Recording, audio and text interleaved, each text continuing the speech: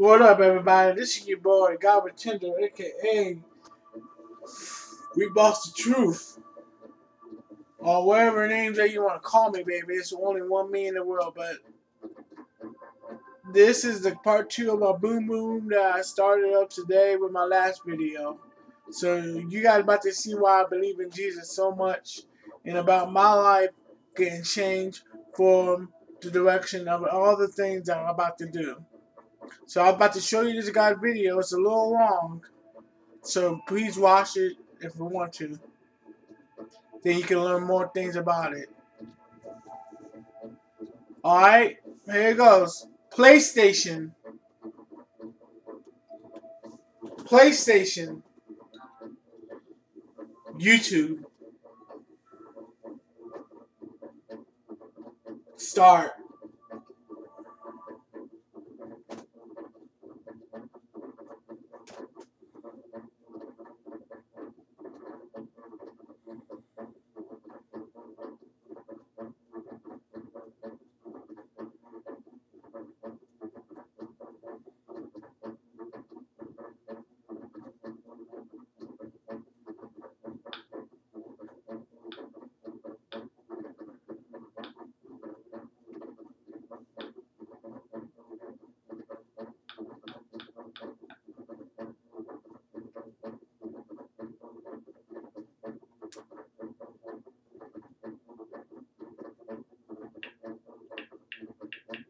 This is what you want to put in. God versus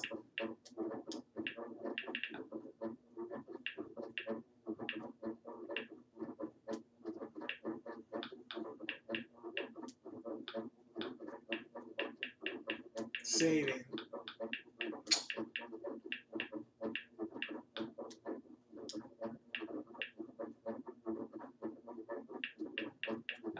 And they got some options right here. And then you click on this one right here. This is one that's a little long. Uh, so this is the one that you want to click on. The one that says 117. Enjoy. An epic conflict between good and evil. There's a deep struggle going on. Has given rise to our understanding of God and Satan. It's a perfect dualistic system. You have to have a villain if you have a hero. The struggle is described in ancient texts. But how have these writings helped us to comprehend the contest between heaven and hell? And there's a contest between Satan and God for the souls of men. Their daily combat is the story that animates people's lives for centuries. Will this conflict culminate in Armageddon? there would be a major battle. Nobody exactly knows where that is. The Bible says God's going to be fed up with it. God is going to deal with Satan forever. Will the signs of the battle be evident? Believers are in a state of And I know this is long, but you guys need that Jesus in your life. You really do. That's why I put this video on. Hello, you're getting awfully close to this becoming a reality. Uh, the fulfillment looks like it's right on the horizon.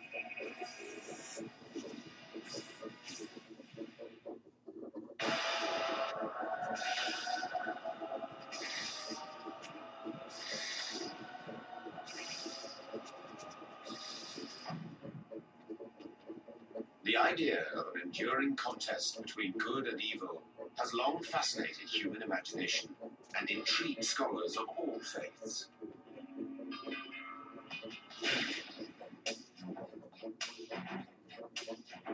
Believers in this cosmic contest think mankind cannot escape this ultimate confrontation, a day of cataclysmic destruction.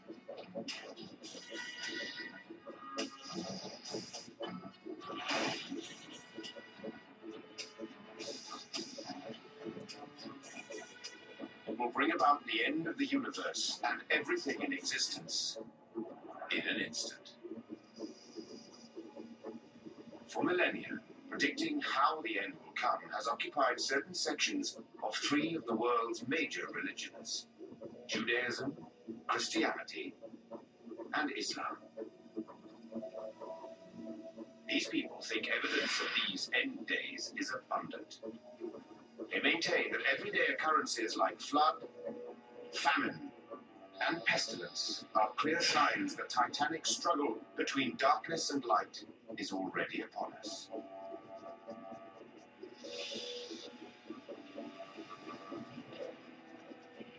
The idea underlying the apocalypse in the Hebrew Bible and in Christian scripture it is that there is a war between good and evil, between God and the devil. Some believe the catastrophic ending of the war between God and Satan looms just over the horizon, and it will result in the annihilation of the planet very soon indeed. And there's a titanic contest between Satan and God for the souls of men. At the core of the apocalyptic tradition is Satan's campaign to manipulate the human soul and to test believers' loyalty to God. Their committed allegiance he is determined to destroy.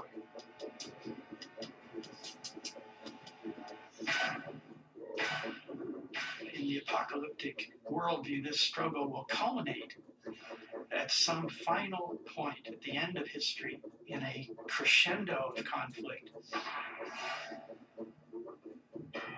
The enduring idea of an apocalyptic end of time emerges from the historic texts in some vivid descriptions, and also oblique hints gradually revealed and interpreted over time.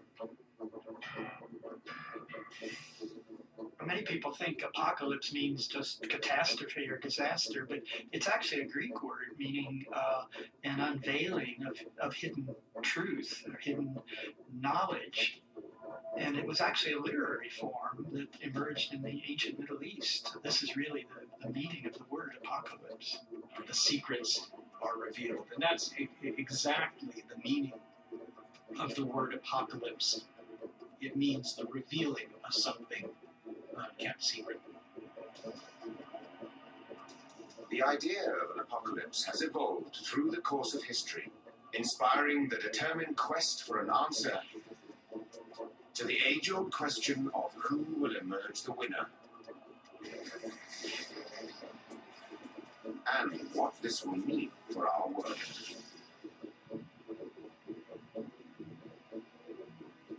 Believers and scholars have researched a variety of sources to uncover the evidence. The first outlines of the prophesied clash between good and evil begin to appear about the first century BC in the book called The Apocalypse of Ezra. There's a revolutionary new idea in human religion that emerges and is carried forward into Christian scripture and Islamic scripture, and it is the idea that God works his will in history, and that history has a beginning, a middle, and an end. And that the end is something catastrophic.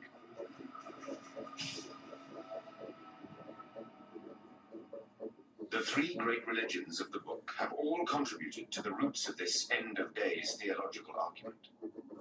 Christianity emerged uh, really out of Judaism, and uh, the Islamic faith drew upon both Judaism and, and Christianity. And a part of that common ground of all three religions is an apocalyptic vision of, of the future. Uh, when we go back to the original text, we find these uh, similarities uh, so vivid.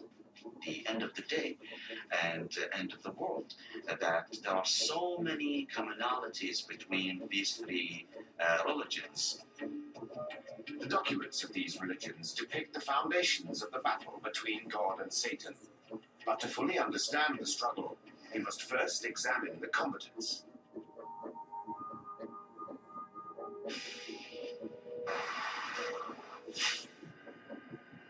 The first would come to be known as the creator of the universe, God.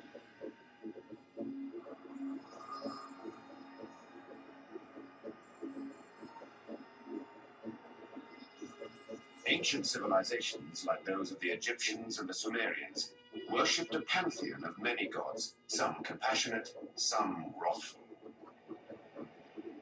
Each governed a different aspect of daily life. You would appeal to one god uh, if there was a drought. You would appeal to another god if you were besieged by your enemies. Then, in the Torah, or five books of Moses, the Jews began to describe a singular omnipotent deity. The great achievement of the ancient Jews, of course, was to arrive at the concept of, of a single God, a single supreme being. By the 7th century BC, the belief in multiple deities disappeared from Judaic law, and the concept of monotheism became prevalent. The idea of one God is what makes Israel and the people of Israel very, very unique. This was virtually unheard of. The Jews believed their all powerful deity was not only a god of love, but also of vengeance. This God is primarily bounteous, merciful, generous, life giving. But this God will not let the guilty get away free. In the book of Genesis, God rewarded the righteous and punished the wicked. He ordered a great flood. Rained down fire and brimstone on the corrupted cities of Sodom and Gomorrah, and condemned the Jews to wander aimlessly across the desert for 40 years, all because of their disobedience. This was a God that had chosen his people and punished his people if they were uh, sinful and, uh, and did not worship him uh, properly. Faith in one sole deity remained strong among the Jews of the ancient world, but the belief that he was the creator of all evil on earth did not last. The idea of one God is responsible for rewards and blessings. Sorrows and joys becomes very difficult. Perhaps God is not the singular God who causes all of the evil in the world. Perhaps there is another force at work.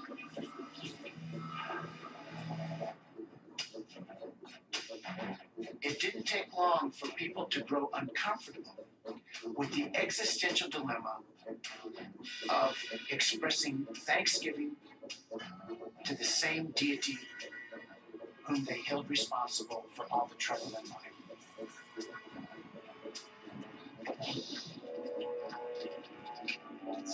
Slowly, out of the writings, a dark and shadowy figure began to take shape.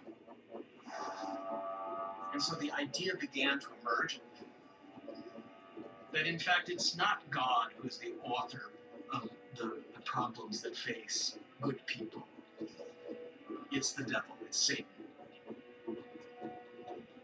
Satan, you might say, is a coping mechanism for monotheists.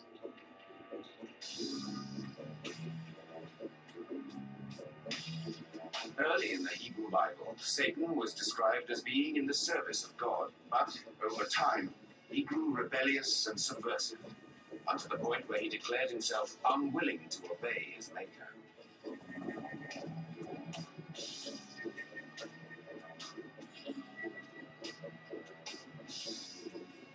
Hasatan is the Hebrew word ha, the, satan, adversary, the adversary.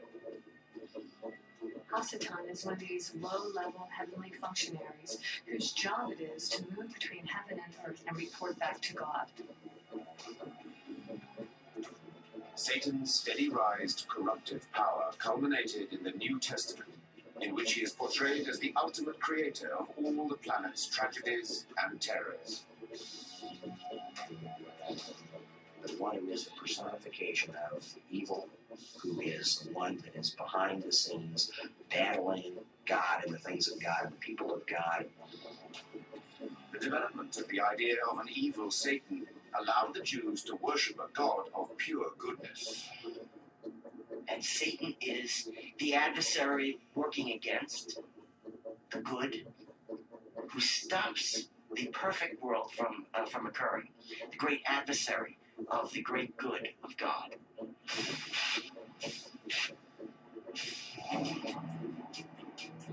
The stage was set for the skirmishes that would lead to a final confrontation, the ultimate battle to win the souls of men and to determine the fate of the world.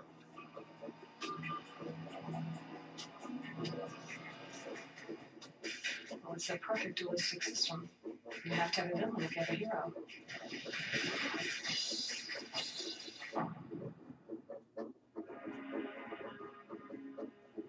The sacred texts and traditions of Jews, Christians, and Muslims not only refer to the origins of the war between God and Satan,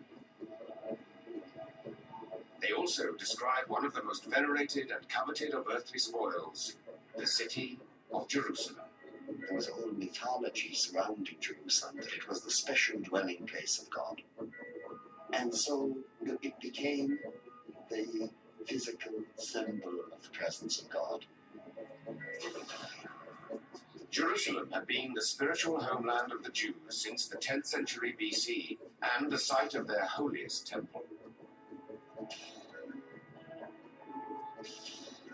For Christians, it was where Jesus was crucified around 34 AD and where he is to reign when he returns to earth. That's messed up. Muslims believe it was from Jerusalem that Muhammad crucified. visited heaven, and it is now the site of the Dome of the Rock and the great Al Aqsa Mosque.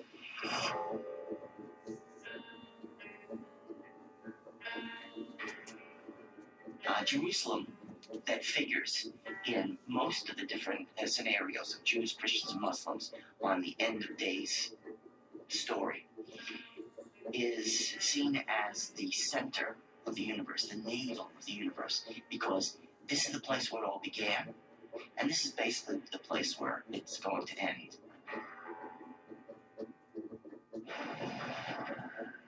This sacred city is also the place the faithful believe Satan most wants for himself.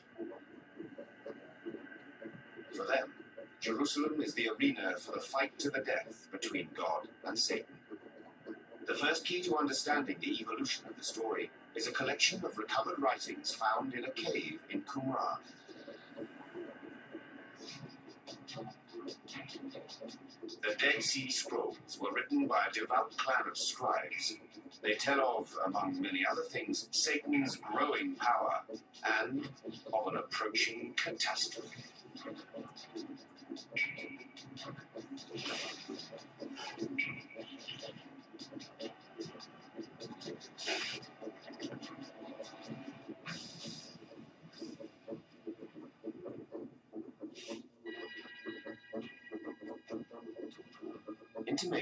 The early concepts of the battle between God and Satan are contained in some of the oldest religious writings thus far discovered.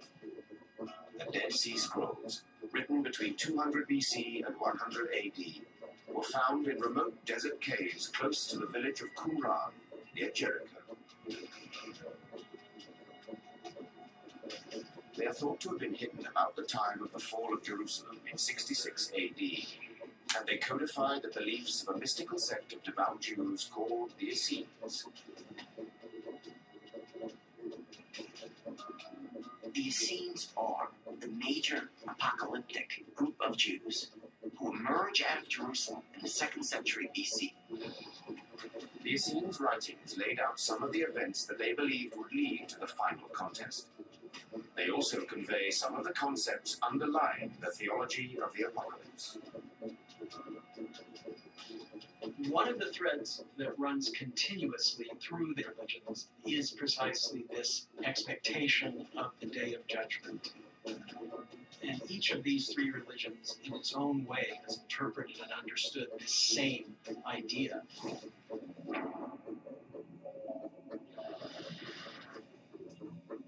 The Essenes broke away from their temple in Jerusalem because they felt it had become too tolerant of other religions. They fled to build a more devout community hidden deep in the desert. As dedicated scholars, they amassed a vast collection of religious writings.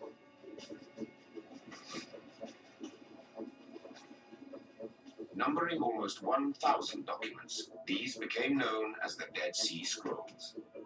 Concealed deep in a dark cave, they were rediscovered 2,000 years later by a Palestinian shepherd. The Essenes believed that the battle would take place near Jerusalem and that the future of the world as they knew it would be at stake.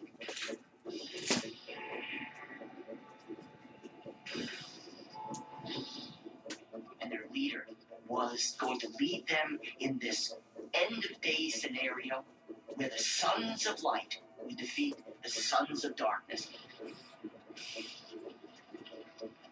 The scrolls are among the most important religious texts ever found. They established the Essenes as one of the earliest groups to write about the conflict between God and Satan.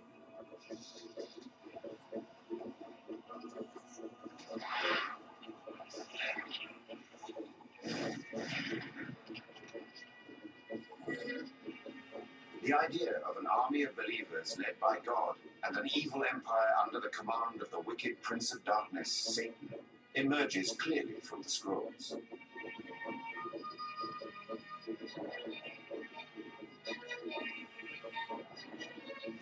It's during this period that a kind of thinking begins to emerge that we refer to as apocalyptic.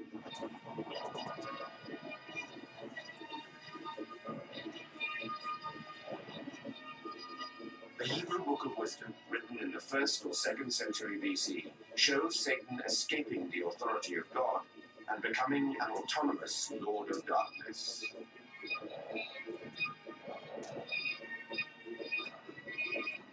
Satan is featured as this demonic thug with a bunch of demonic cohorts who fall to earth and wreak havoc on the earth. There are several documents that refer to Satan's break with God. The devil, resentful of his role as servant to the Almighty, leads a failed rebellion against God, which ends in his banishment from heaven. The episode earns Satan one of his many names.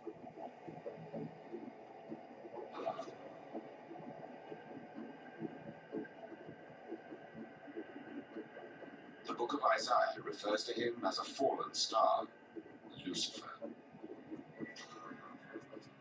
He rebels against God. He rebels against the, the whole order of righteousness in heaven. And a third of the angels join him.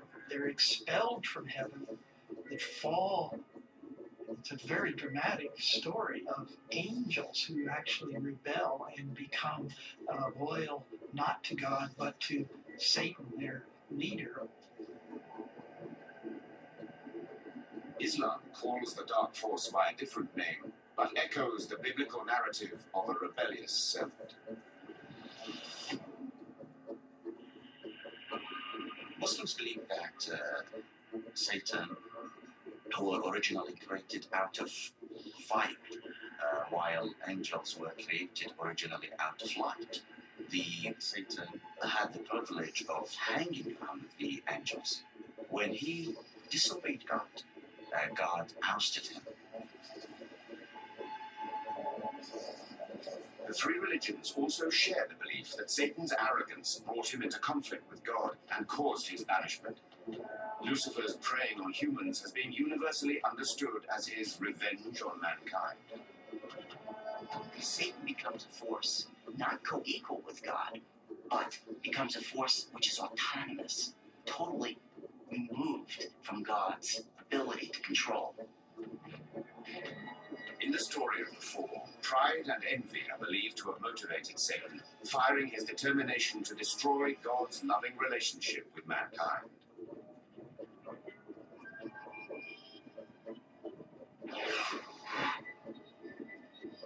It became his burning, ravenous desire to win over the souls of men and make them pay him homage.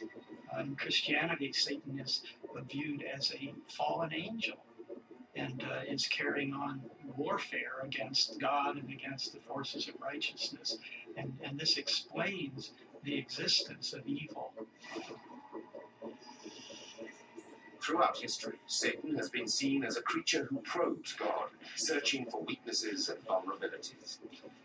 Each encounter emboldens him further. Each test escalates the momentum and magnitude of the climactic battle ahead.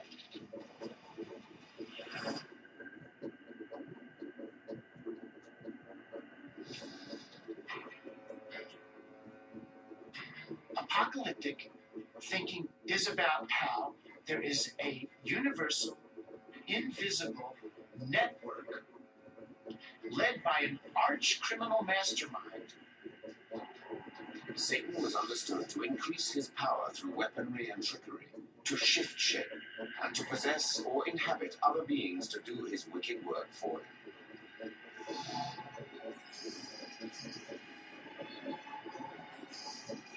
Satan can assume various forms, and throughout history, this is one of his signature calling cards that he can lurk about unseen. This is a, a, particular talent that Satan happens to have, and he's never really alone. He has a group of other figures, demonic figures, who work with him.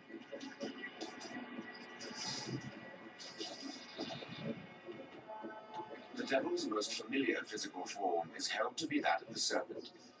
His first infamous act against humanity was to invade, unseen, God's sacred Garden of Eden, where Adam and Eve were living in loving harmony with their Creator. Genesis, the first book of the Old Testament, chronicles this early encounter between. So you guys see how I told you about Adam and Eve? It results in the origin of the We were supposed to be born in heaven original and not down here on earth.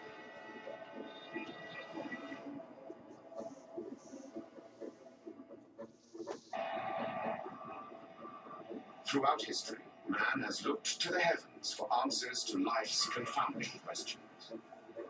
The quest for answers has led to the awareness not only of God, but also of another powerful being, one of unadulterated evil. The texts of the Jews, Christians, and Muslims all refer to him as Satan.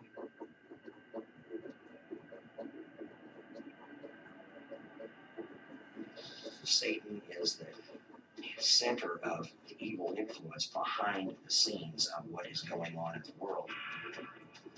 In various religious texts, Satan is seen continually in competition with God for the souls of men. Each encounter rendering him more determined and more prepared for the ultimate conflict, the dreaded end of days.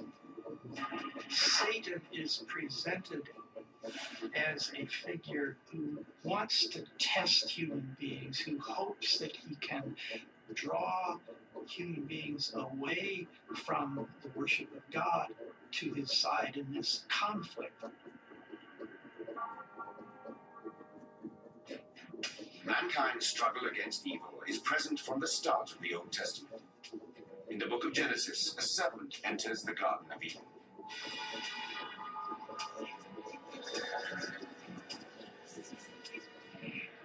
Satan was born in the Garden. And the snake is that manifestation. The snake became the symbol for evil as it later developed within Jewish tradition. This version of Satan as the wicked tempter of man is reinforced in the Islamic interpretation. The Satan has the power of tempting the human beings. The Satan has no power to force any human being to commit a sin. It is the human being who will commit the sin. Satan's ability to seduce is described as one of his most effective weapons in the battle to win the souls of men. For many believers, the serpent that persuaded Eve to eat fruit from the tree of knowledge is proof of the devil at work. In the story, Eve convinced Adam that he should also eat the forbidden fruit, an act God could not forgive.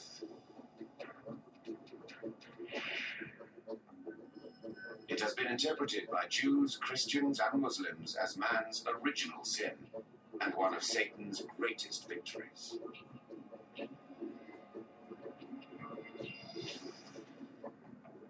He permits Satan a certain degree of latitude in the Garden of Eden.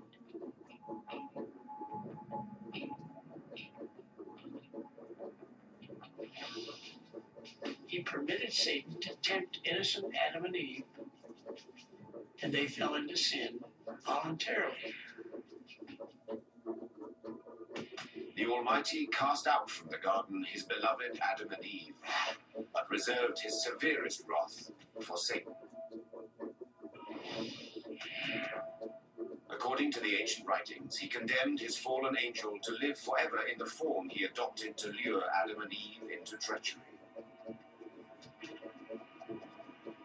The opening skirmish in the war ended with the realization that the souls of men would henceforth be always vulnerable to satanic trickery.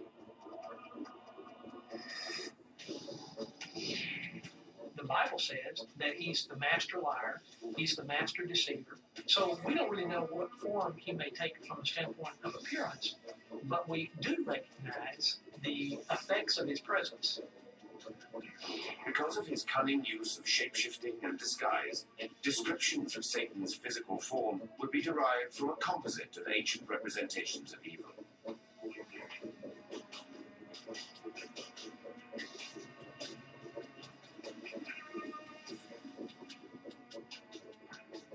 The pitchfork, for example, is Poseidon's trident. The red color comes from the Egyptian evil deity Set. The horns come from the Greek Pan, or the Canaanite deity named Abayu, who has horns and a tail. All of those are different elements that lead into satanic lore from other cultures, actually. Satan's perceived ability to possess and control man would lead people to see his agents at work in the behavior of others, particularly their enemies.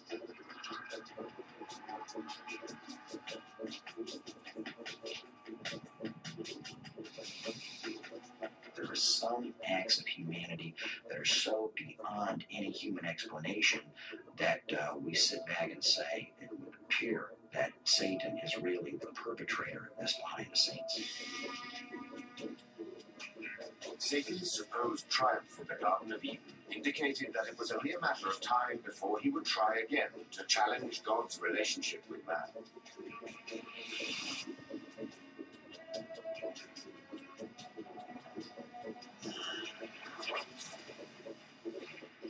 The Old Testament book of Job describes just such a challenge.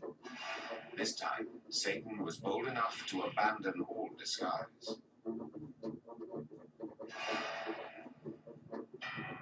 Satan's most glorious appearance begins in the book of Job. This is the most detailed exposition of the character of Satan. Satan tried again to antagonize God by targeting his most prized creation, man.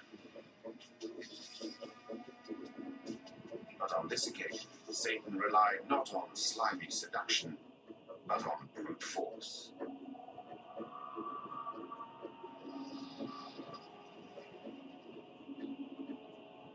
Old Testament text indicates that Satan had not yet developed into the potent and complete embodiment of evil, but was still in God's employment as a kind of celestial prosecutor.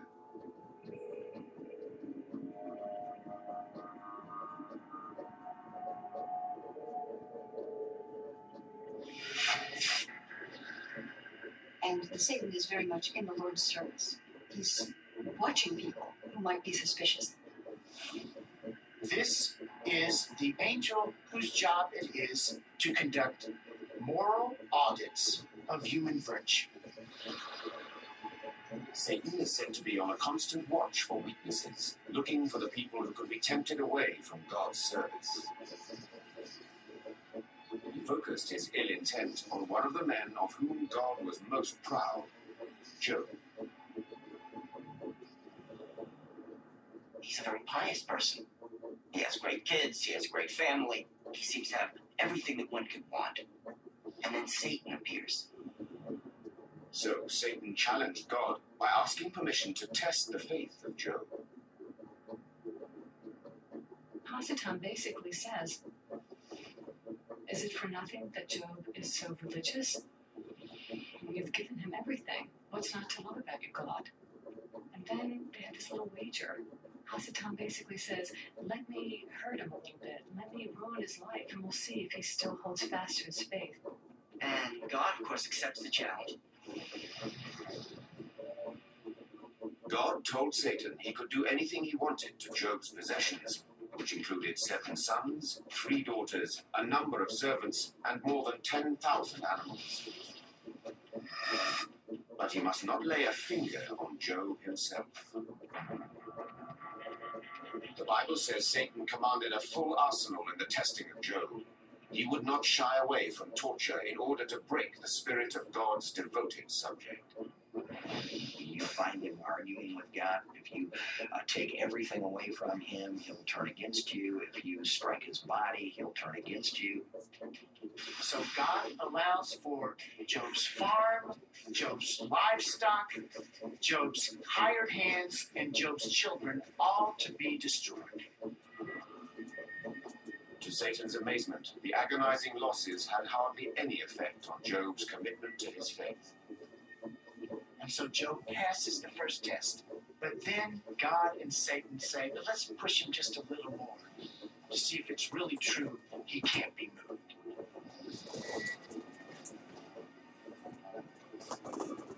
Job finally began to waver, and then he questioned aloud why God would allow him to suffer so grievously.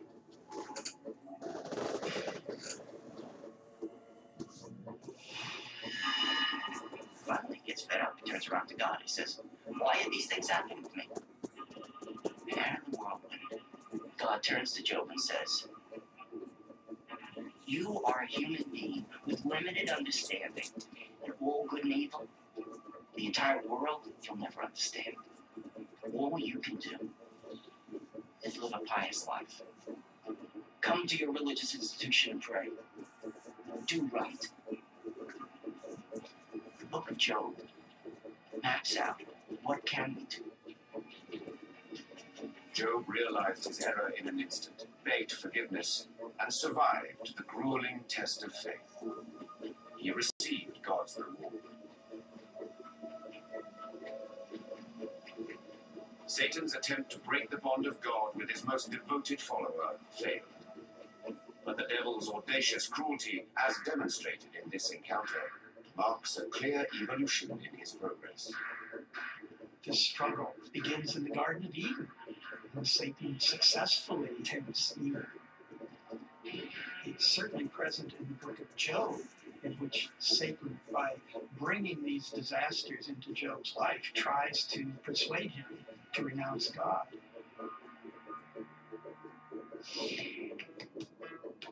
In the period between the Old and New Testaments, from about 200 BC to 70 AD, a variety of ancient texts portray Satan as an increasingly provocative manipulator of human affairs.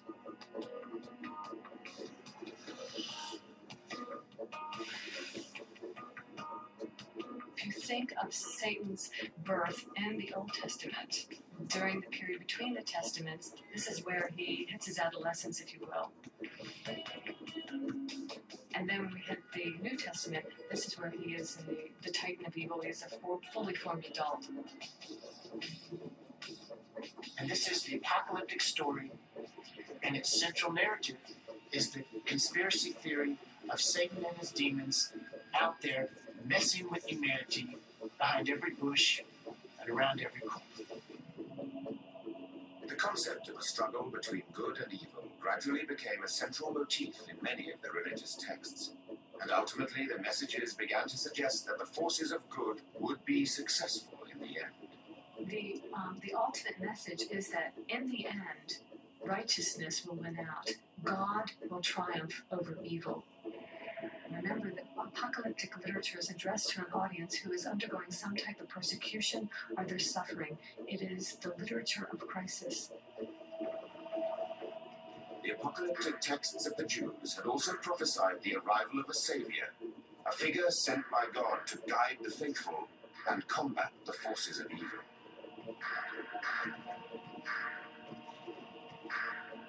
The word Messiah, Hebrew Mashiach, means anointed.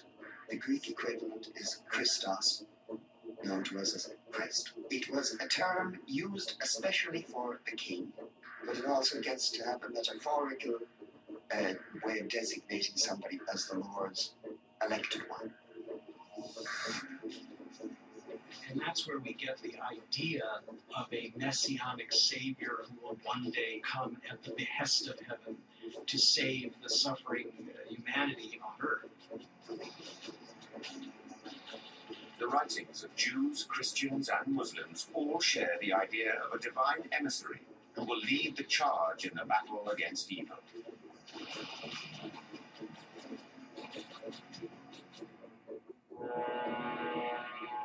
Christian scripture indicates that Satan will up the ante, taking on God in the form of his earthly incarnation, Jesus Christ.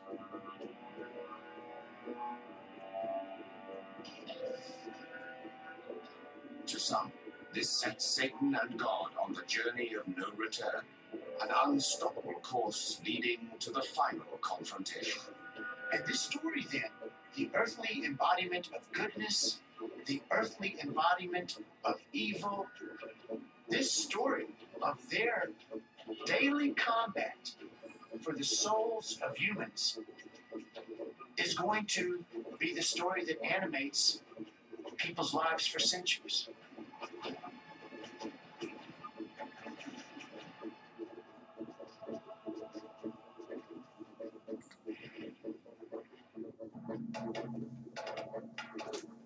Throughout history, Satan has been portrayed as the arch seducer of mankind, using skilled deceit as a means to taunt God and draw him towards a final conflagration. One example has been seen as the most brazen. In this encounter, Satan targeted the human embodiment of God.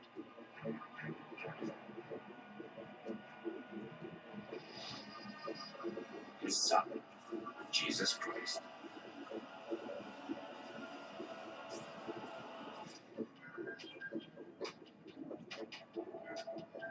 The early apocalyptic writings spoke of a Messiah, a Savior chosen by God who would enter the holy city of Jerusalem and prepare the faithful for the confrontation with Satan.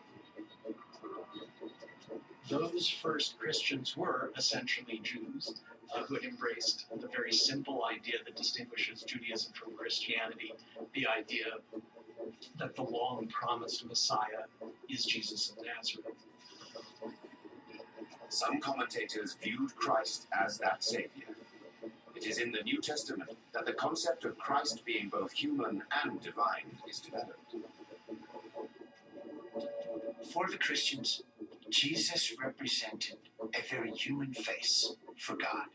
And that combination of power and vulnerability was so intriguing and so unique. Jesus is this vivid earthly representation of God. In opposing Christ, Satan was able to confront God face to face. At this point, he had morphed into a powerful, independent villain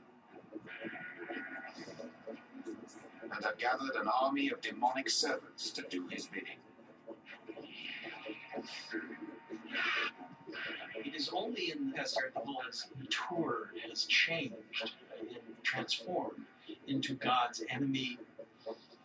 The encounter between Christ and Satan is documented in the Gospels, the accounts of Christ's life written by his closest adherents.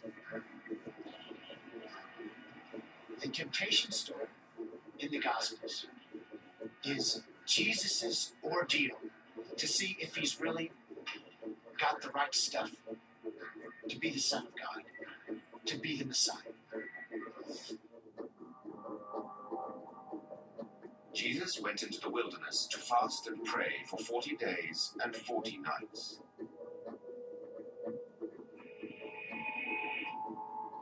Satan followed him into the desert. The first temptation, he goes out to be tested and he encounters Satan in the wilderness. The wilderness is a testing place in the Bible. Fasting had left Jesus physically weak and debilitated, and Satan saw this as his opportunity. He issued his first challenge. and commanded the Son of God to turn stones into bread. Turn these stones into bread. Now that's an interesting temptation right in itself. You're up against deity here, and uh, he won't do it to satisfy himself after 40 days of fasting. Jesus deflected Satan's provocation by quoting scripture at him. Jesus says, Man does not live by bread alone. Satan then asked Jesus if he would fling himself off the temple. He quotes Deuteronomy saying that angels will support you, and Jesus uh, quotes again Deuteronomy and says, you know, you shouldn't put the word of God to the test. As Satan continued to probe the possibility of Jesus' human frailty, he summoned the greatest temptation of all to capture the soul of the Son of God. Finally, in the third temptation, Satan stops that and he finally shows Jesus the kingdoms of the world and says, All right, all right, just pay me a little homage. Just bow down a little bit, give me a little worship here, and you can have it all. Would Jesus sell his soul to the devil in exchange for all the power, all the glory of this world?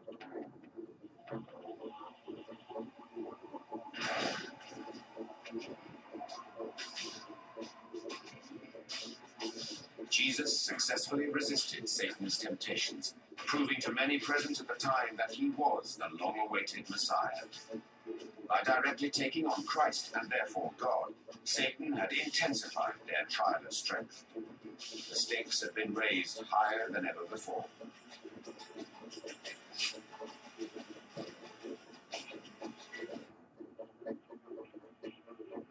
In his sermons, Christ began to warn of the violent apocalyptic clash that was to come. He based some of his preaching on an imminent end of the world. For example, in the Sermon on the Mount, when he's talking to them, he says, There's people standing here this day that will not taste death before the coming of the kingdom. He believed that that end time was going to be either in his lifetime or in the lifetime of his followers.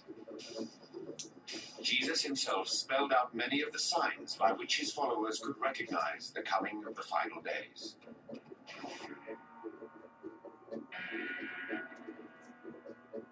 One of the things that he was preaching was that the kingdom of God is at hand. An apocalyptic connotation that it is promising a drastic change in the whole order of things. Some Christians believe he was referring to the end of days and the final defeat of Satan. In a sermon called the Olivet Discourse, he prophesied a time of terrible tribulation for his people.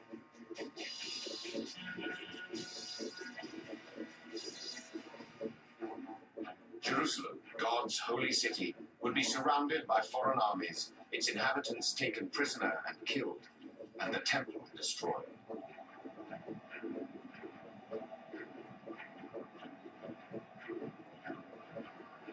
Not a single stone would be left standing. Christ told his followers they would be persecuted and false prophets would emerge. There would be wars, famine, and earthquakes. But even that degree of punishment would not compare with the terrors to come. To his followers, it might have seemed that signs of Satan abounded in first century Jerusalem under Roman occupation. The curse of evil was seen to be obvious in the ruthlessness of the emperor and the debauchery of the Roman ruling classes. pagan Roman society, the good life yeah, that was available to a citizen of Rome. It was a place of tremendous cultural richness, art, theater, statuary, uh, drama, the, the games of the circus.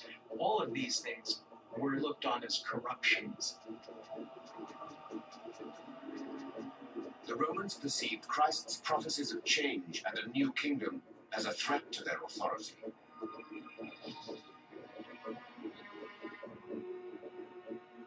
They concluded that Jesus had to be stopped.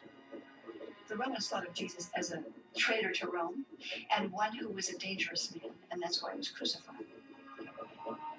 According to the New Testament, in order to identify the man who was to be crucified, the Roman centurions bribed Judas, one of Jesus' closest friends, to betray him.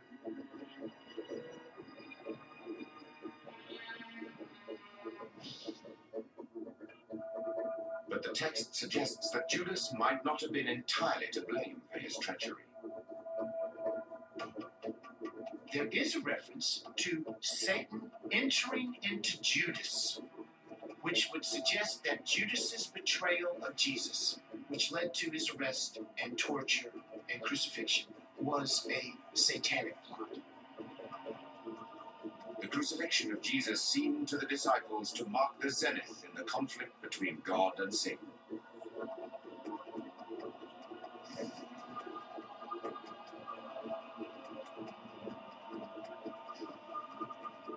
Christ himself predicted the end would be marked by a period of chaos and suffering. Had it already arrived? Jesus came to earth to be the king of Israel. He didn't. He failed. He was crucified. He was totally defeated. How do you explain that? Christians believe Jesus Christ was the long awaited Messiah, God's own Son, and his earthly emissary, heralding the coming kingdom of heaven. The New Testament shows Satan setting his malign sights on Jesus. But despite his most persuasive temptations, Lucifer was no match for the power of the divine. Many of the followers of Jesus at the time thought that since Satan couldn't obtain Christ's subservience, he had sought to bring about his death. The power of evil was aware of who Jesus was and who he was meant to be in God's scheme of things, and and was aiming for him. And the Gospel of Luke and, and John say, well, Satan entered into Judas Iscariot, and it was Satan who instigated the death of Jesus. If Satan's infiltration of Judas had resulted in the crucifixion,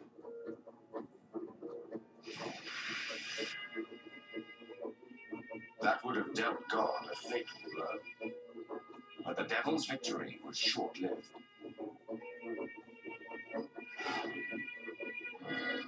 Three days after Christ's death, his followers reported entering an empty tomb. Jesus was thought to be from the dead and taken up to heaven. The early Christians came to worship Jesus as a prophet of peace and not of retribution. Jewish tradition entertains the idea of a Messiah. The Messiah is seen as a earthly king, an earthly sovereign who will sit on an earthly throne and usher in a period of peace and harmony.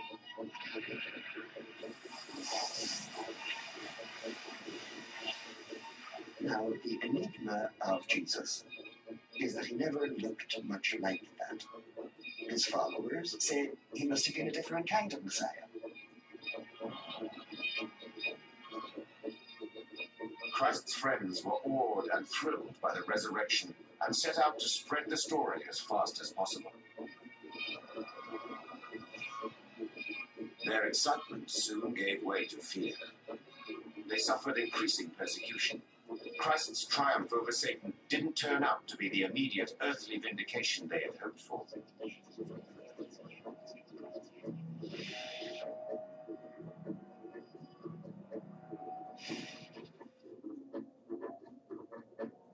Those followers documented his own idea of the future.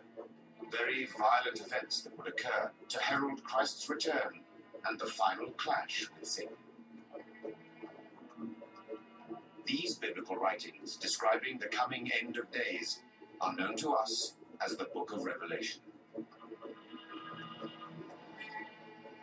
The book of Revelation is one of the strangest books in the Bible. It doesn't have any ethics, it doesn't have any wisdom sayings, it doesn't have any poetry. It really consists of dreams and nightmares, of visions. The recipient of these visions was John of Patmos. This pious but embittered author is thought to have written his end of days nightmare scenario sometime about 70 AD. At the time, John was in exile, a refugee from the devastated city of Jerusalem, destroyed by the Romans.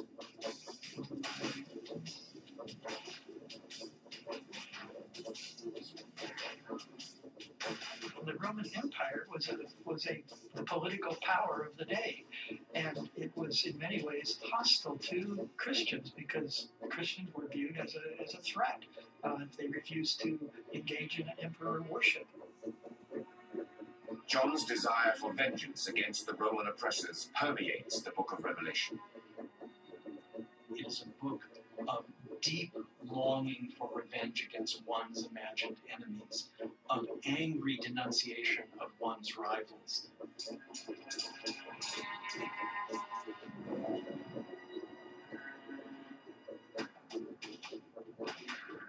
The Apocalypse of John, as the book is also known, unveils for the first time the prophecy of a final battle between God and Satan.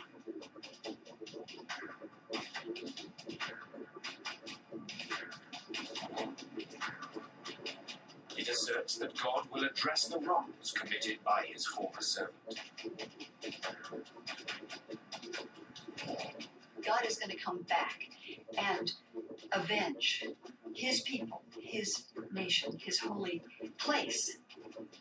And he will do that when Jesus, his Messiah, returns with all the armies of heaven. The writings of John of Patmos coalesce the signs found in Judaic Old Testament texts with Christ's New Testament end of days prophecies. They were intended to warn of the wrath that would engulf the earth and help mankind prepare to survive Satan's ultimate offensive. Uh, the book of Revelation is one of the most vivid in its imagery uh, in representing this this cosmic conflict uh, between good and evil.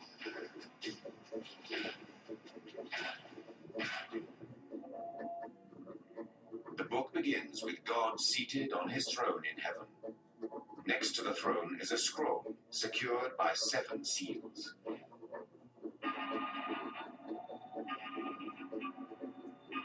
Seven is a holy number in Hebrew tradition. To unlock the scrolls, an angel must find someone worthy of the task. There's another image of Jesus, apparently, and that is the slaughtered lamb with eyes all over it. It's a very weird and kind of grotesque image. But it says, because the lamb has been slain, the lamb is worthy to receive the book and open the seals and speak the prophecies about what will happen.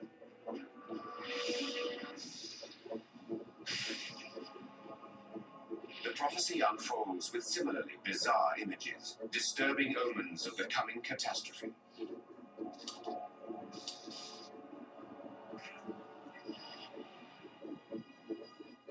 Breaking of the seven seals is the occasion for a series of what we would understand to be natural disasters or cataclysms that will be brought to earth by God at the end of days.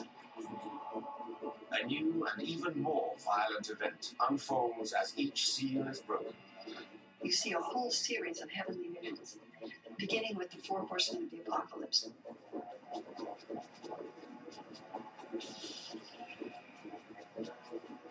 All of them come emerging with agonies that are going to come onto the earth.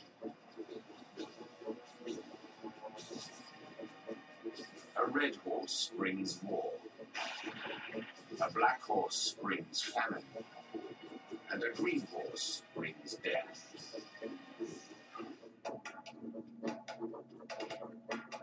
The white horse foretells an evil leader coming in the future, an accomplice of Satan.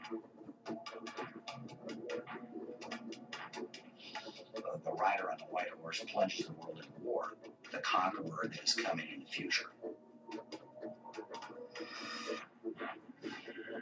The breaking of the fifth seal sees Christian martyrs gathering at the throne of God, asking him to avenge the wrongs wrought by Satan throughout human history.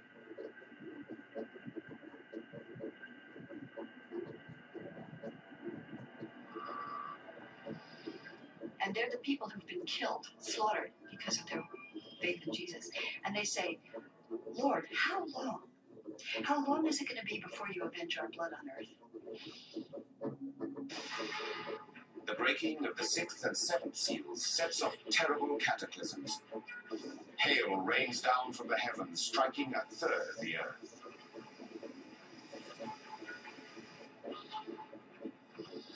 Burning mountains are thrown into the sea, which turns blood red.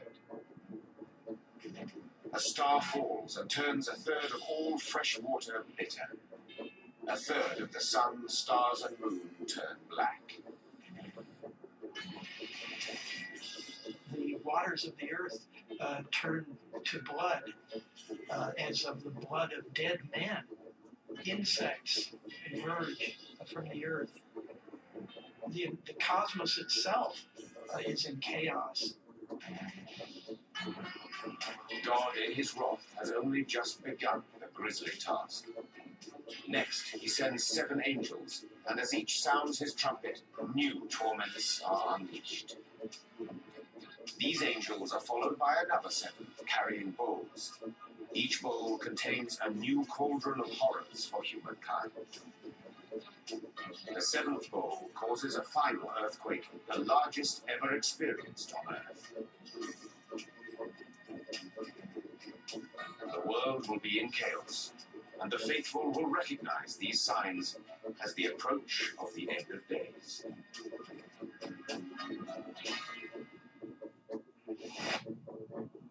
One of the themes of the book of Revelation is that the end will be a signal by events in the here and now, events in the natural world that are meant to warn the men and women on earth of these impending disasters.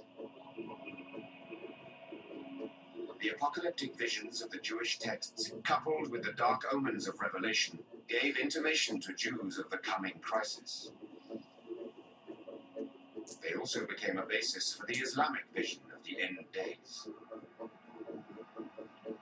We Muslims believe that there will be many battles and many disasters, uh, probably disasters uh, as the scale of world uh, wars. There will be struggle as it had been for thousands of years, struggle between evil powers and good powers. In early Islam, the, the earliest writings, the earliest years of Islam, there was, a in fact, a strong apocalyptic strain that one finds in the Quran that echoes passages from the book of Revelation. Revelation's horrific events do not only describe natural disasters.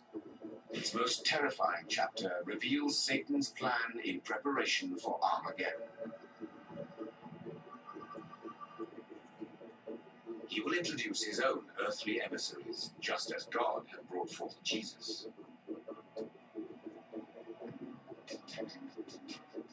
Revelation depicts a snake-like dragon standing on the seashore. Satan in Revelation is a red serpent uh, with seven heads and ten horns. And lest we mistake who this serpent is, this is the old serpent that tempted Eve, the same uh, devil that appears in the Hebrew Bible is carried forward into the book of Revelation. The devil summons two beasts, one from the sea and one from the earth. These are the accomplices of Satan who will do his evil work on the planet in the final days. The beast from the earth is the false prophet, and the beast from the sea is the Antichrist.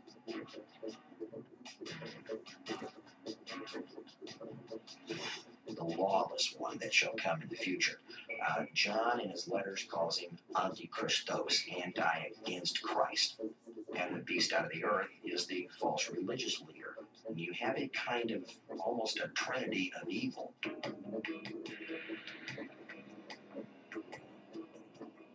The book of Revelation predicts a terrifying prelude to the final battle between God and Satan.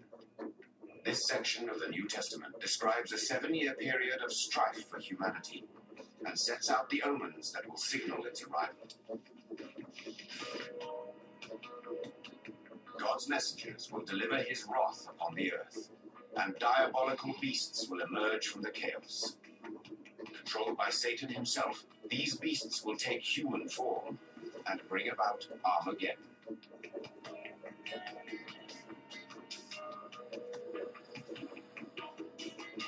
Will God allow mankind to suffer such agonies? A group of radical Christians believes that some people will be spared. There's a great deal of suffering in this book, but Christians today debate whether God's people will have to endure it or not. Some Christians claim that those who belong to God will be taken out of the world before the seven years of the most intense suffering.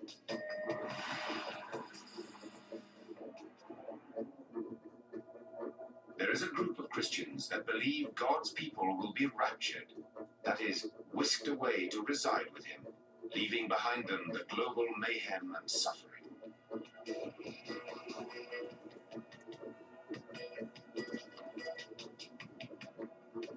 The idea of the rapture has been derived from various translations of the New Testament through the ages.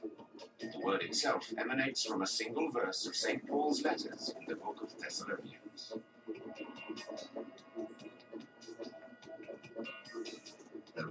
Text uses the term harpazo, which means snatched away, caught away, zap, you're out of here. When the Bible is translated from Greek into Latin, the word became rapti, and in English it became rapture. It's an idea that has appealed to some sections of the Christian imagination. All believers are going to be taken up. Billions of people will be snatched up and meet the Lord in the air.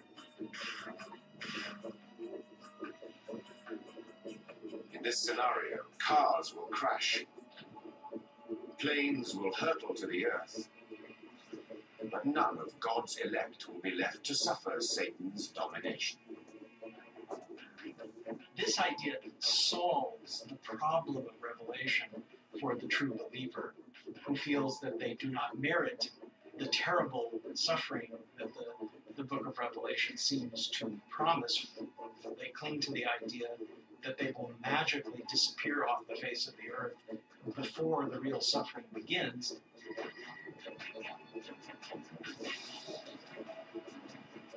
The prophecy forewarns humans that Satan will use his emissaries to recruit gullible warriors for the coming conflict. As it's described in the book of Revelation, this is a time of intense worldwide conflict and chaos uh, that the world has never seen.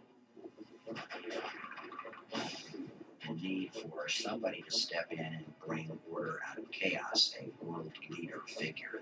The book of Revelation calls him the beast. Uh, John in his letters called him the Antichrist. The beasts that emerge in Revelation are Satan's henchmen. The beast from the sea is the vision of an antichrist, a man who will come in the form of a political leader. At the outset, the antichrist will appear a benign figure in order to gain power. And then all of a sudden, a person steps on the scene and says, "You know what? We, we've got to come together. You We- there has to be world peace. I've got a plan. Follow me." How's it And the? Bible says the whole world follows Good. after him. Okay. Is embodiment of Just the checking in on you. The Antichrist will be assisted by another beast. The beast from the earth will be a religious leader who will aid the Antichrist in luring souls to the dark side.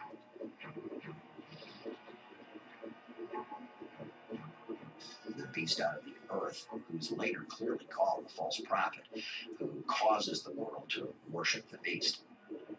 The Antichrist will become ever more hungry for power and ever more evil, establishing a single world government and one sole world religion. So in the book of Revelation, Satan is the center of the evil influence behind the scenes of what is going on in the world and is being played out through the activity of the beast of the false prophet. Satan's followers, according to the Bible, will be branded with the mark of the beast. 666 will identify those who will be commanded by Satan's lieutenant, the Antichrist. Those that believe in him, that choose him instead of Jesus Christ, will receive a mark on the back of their hand or on their forehead. They'll have this mark that distinguishes them as a believer of Antichrist, but really they're believing in Satan. and they worship Satan, and those who reject will often be killed. Historically, 666 has been understood as an early Christian cipher, symbolic of the oppression of the Romans and their emperors. The alphabets of the ancient world used as numbers as well as letters, and so you could uh, create an alphanumeric code. If you then translated those numbers back into letters, you got the name of a Roman emperor. But most commonly it's read, of course, as the name of the Emperor Nero, who was said to be the first to persecute the Christians. Satan is said by these believers to draw the battle with God closer by inhabiting the Antichrist and demanding the loyalty of man. He will be indwelt by Satan himself, and he will be the embodiment of evil, and he'll have people worship him. Every human being during that tribulation period will have an opportunity to make their choice Satan or God. So as Satan gathers his recruits, the cataclysmic events described in Revelation continue to unfold. Literally, all hell breaks loose on planet Earth at the time of tribulation. And the book of Revelation very clearly is predicting a great war in the future. The final act of provocation in Revelation asserts that the Antichrist will enter Jerusalem and declare himself God. This will mark the time for the final battle at a place called Armageddon.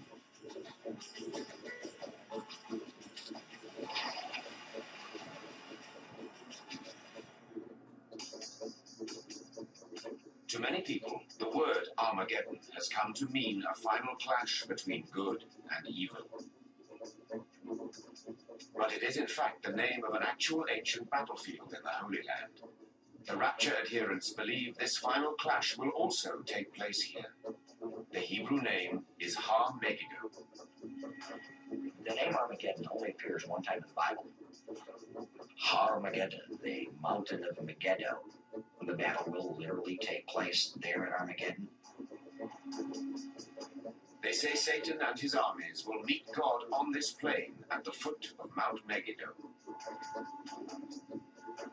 A fortress city at the crossroads of old trade routes leading to Jerusalem, Har Megiddo emerged around 3500 BC and witnessed many encounters that determined the future of the land.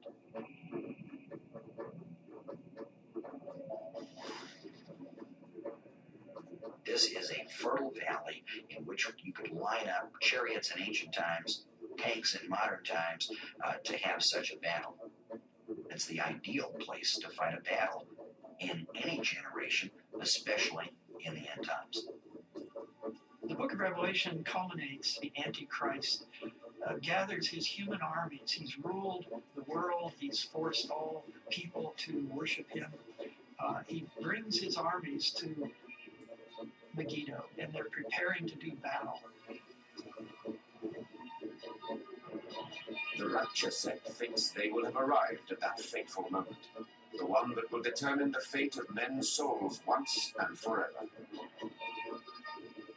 With Satan's battle cry ringing in their ears, God readies his forces.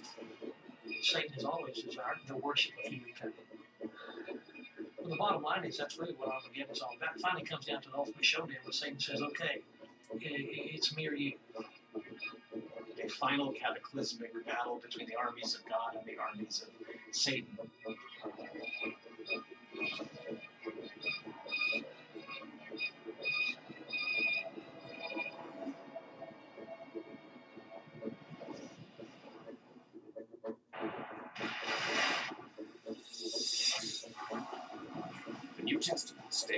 Christ predicted a time of tribulation, plagued by disasters and cataclysms, and ruled by a satanic leader, the Antichrist.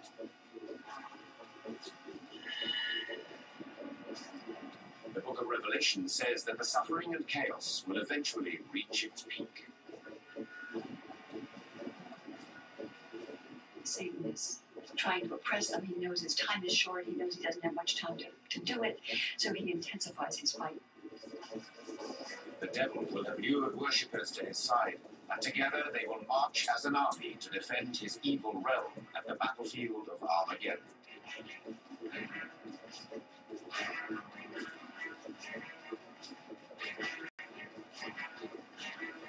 The world chaos.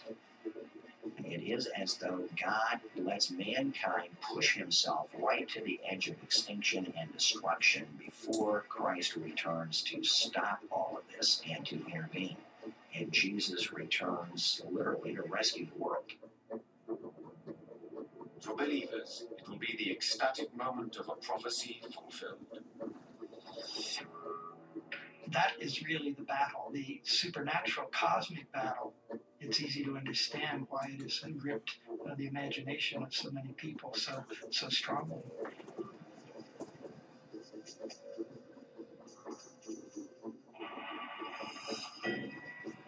The book of Revelation says the Son of God, Jesus Christ, will return to purge the earth of Satan and his dark army by waging a cosmic battle to determine who will reign supreme.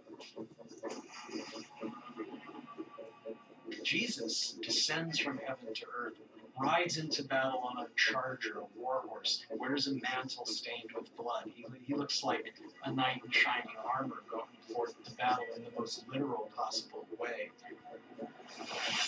Satan and his army will be prepared for the battle. What the evil one doesn't know is that Jesus is now a warrior king, wielding a most powerful weapon the Word of God.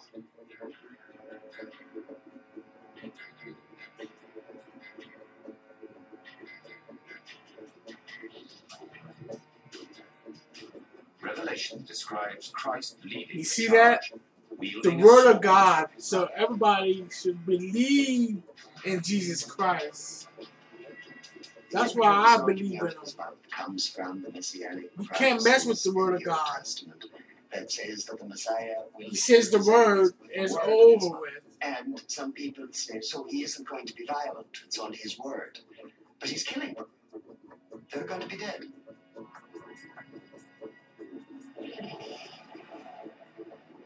He just speaks the word and it's over. The final triumphant vision is not Jesus, the kind and gentle figure of the gospel. He is a punishing, vengeful, bloodthirsty figure who takes lives by the countless thousands, such that blood runs in the street. When the dust settles, the Word of God has slain Satan's army of men. The angels invite the vultures to come and, and to the great feast of God. And what's served for dinner are the corpses of all the slain, the captains, the kings, the armies, and the horses, which are thousands dead on the battlefield. While the wicked armies of humankind have been destroyed, Satan and his emissaries remain. The trinity of evil has survived to face God's wrath. Christ and the saints destroy the beast and his human armies. The Bible says he takes the beast and the false prophet, casts them alive into the lake of fire. While the Antichrist and false prophet are cast into hell, God has a different plan for Satan. And after that, Christ comes and chains Satan for a thousand years. The beast is bound.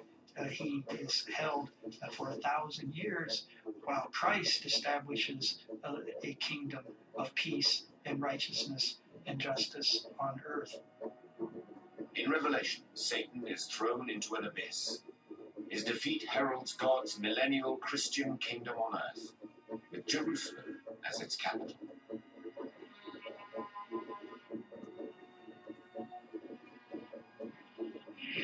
Those who chose the side of God will live in a utopian Christian kingdom.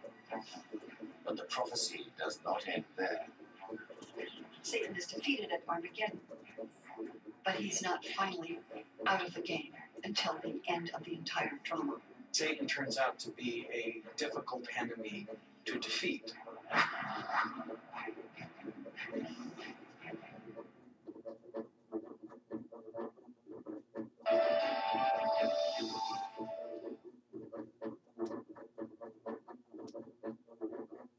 Alright, YouTube.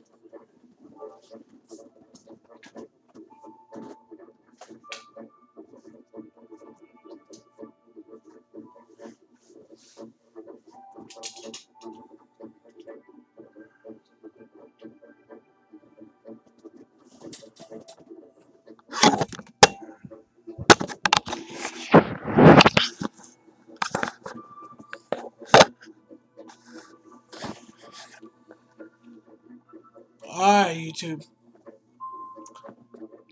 This video is now officially over.